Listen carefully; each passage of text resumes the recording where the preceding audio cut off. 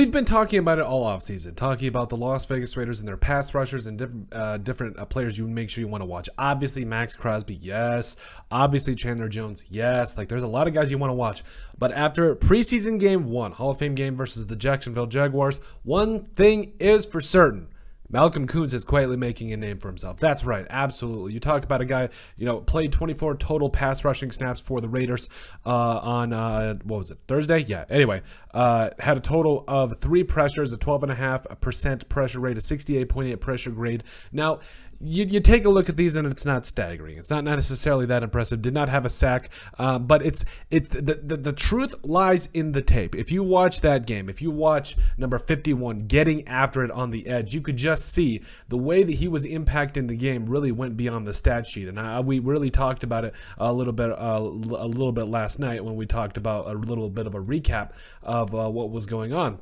Oh well, it was this morning. But anyway, uh, we talked about how his impact goes beyond the statue. We talked about how the fact that you know getting off those tackles, getting pressure on the quarterback, really does seem to do wonders uh, in terms of getting that those quarterbacks off balance. And you could see it in the Jaguars' offense. They were very rarely on, on up on beat. They were not um, comfortable at all. They, they did not move the ball very effectively the entire game. And it really started because Malcolm Koonce was getting uh, pressure on the quarterback. Now again, you want to take a look at a guy that what was played like something under 20 snaps last year, had a total of two sacks. So obviously, you know, there the the potential is there. But if you take a look at actual pressure rates uh, and how that actually equates to uh, making an impact on the game, that's the most important thing here because sacks can be so misleading. You can have a guy, you could do a stun, a guy pushes the guy into you, you get the sack, blah blah blah blah blah.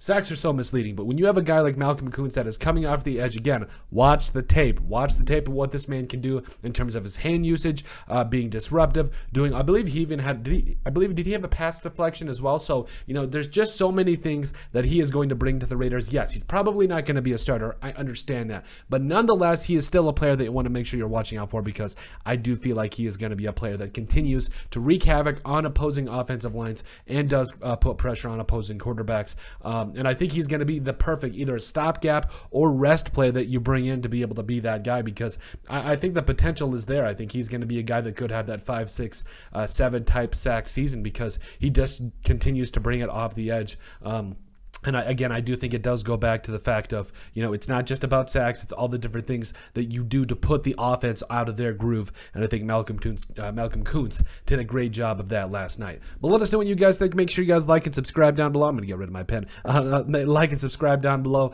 Uh, make sure you guys also give us a like and a follow on all of our social media platforms and give us a listen on iTunes. We'd greatly appreciate it. But at the end of the day, um, let us know what you guys think about Malcolm Koonce quietly making a name for himself.